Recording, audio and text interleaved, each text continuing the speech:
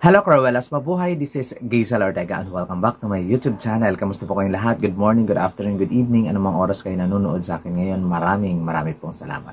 Sa mga bago ko dyan subscriber and returning viewers, isang daan na lang, uh, 7,000 subscriber na tayo. Mga gods, thank you po. At sa mga hindi pa po dyan nakasubscribe, please subscribe my YouTube channel, Gazel Ortega, Cruella and Pageantry, and click that notification bell below para update kayo when comes na maglabas ako ng aking mga videos videos.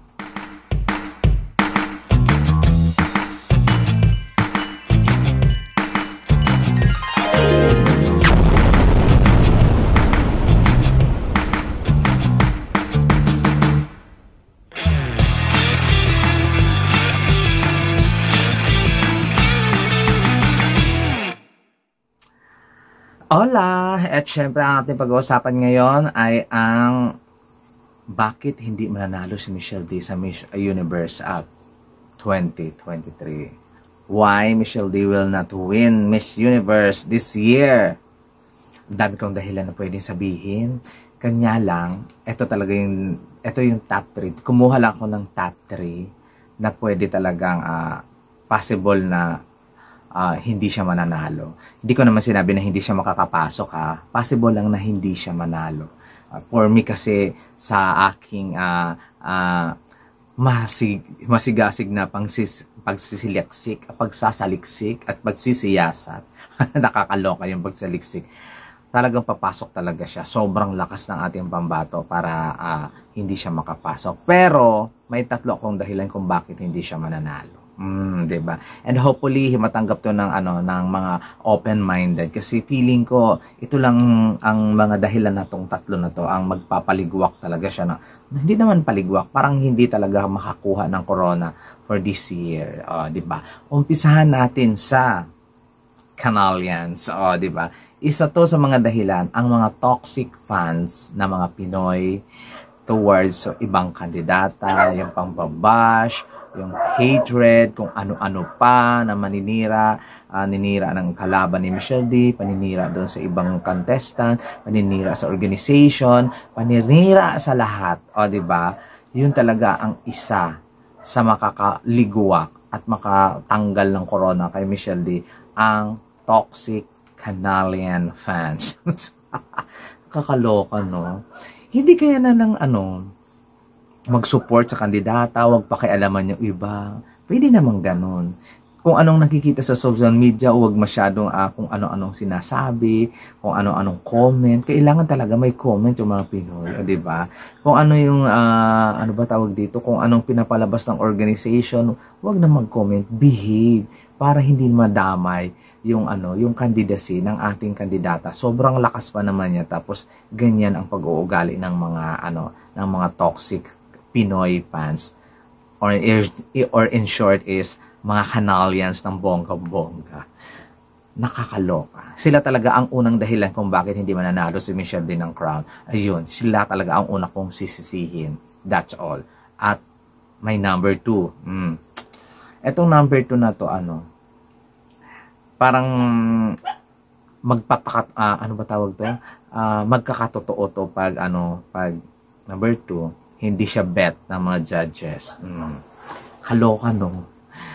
Na-check mo na nga lahat ng aspeto, na-check mo na lahat ng pwedeng maging Miss Universe. May pa-advocacy, may communication skills, may beauty, whatsoever, authenticity, mga ganyan. Na-check mo na lahat ng boxes. Pag hindi ka talaga bet ng judges, wala tayong magagawa.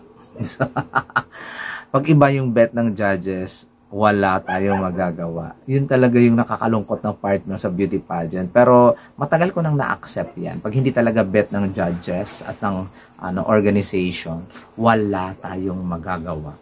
Iba ang mananalo at hindi si Michelle D. Ayun lang.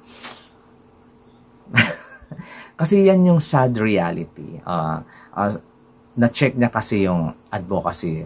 Wala tayong problema dyan. Na-check niya yung communication skills na-check niya yung uh, beauty, um, oriental beauty, very oriental beauty, o di ba? Pang universal na beauty.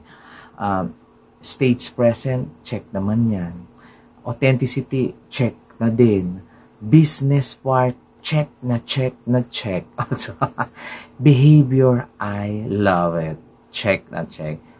But, pag hindi bet ng judges, halimbawa, uh, lima ang judges, hindi lang siya bet ng apat or tatlo, ligwak ang lola mo. Ganun lang yun. Nakakalungkot isipin, pero yun ang uh, malungkot na katotohanan pag hindi ka bet ng judges. Ito ang pangatlo na dahilan kung bakit hindi mananalo si Michelle D ng corona.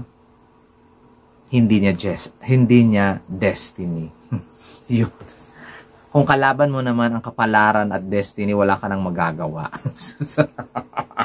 kahit, my God, siguro no, kahit uh, bet ka pa ng judges, uh, check mo na lahat ng boxes, pag hindi mo kapalarang maging Miss Universe, hindi ka magiging Miss Universe. Yun talaga yung mga hadlang sa, sa, sa pagpanalo ng ating contestant. Pero, kailangan natin ng prayers. Kailangan ng uh, matinding prayers ng mga Pilipino magkaisa.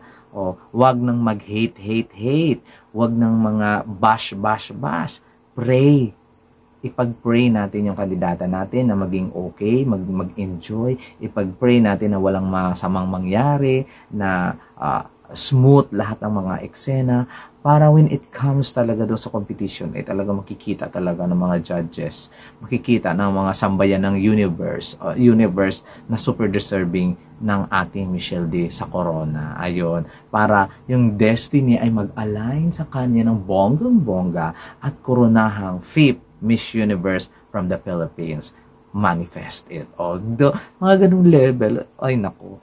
Uh, this time pa lang ako na sobrang excited uh, sa isang kandidata natin sa Miss Universe. Kasi after Catriona, nawala na yung hype ko. Kasi yung sunod-sunod ng mga ano, medyo bumalik-balik lang na kay Beatrice Luigi Gomez. Pero nag-doubt pa rin ako. Pero eto, eto na oh, bumalik na uli oh, yung aking uh, eagerness uh, sa pag uh, grabe nagawa kong tatlong beses uh, ay dalawang beses mag-live sa isang araw tapos take note may vlog pa for Michelle D lang talaga para ma-update lang at ng mga subscriber ko sa mga nangyayari sa ano sa Miss Universe competition talagang uh, yung pagod, yung puyat ay dead ma lang sa akin para lang masuportahan si Michelle D. Ipinopromote ang pagboboto para lang ma, uh, na ma, masuportahan si Michelle D. Kaya dito talaga tayo yung mga Pinoy talaga no? First time after Catriona first time nagkaisa para lang kay Michelle D.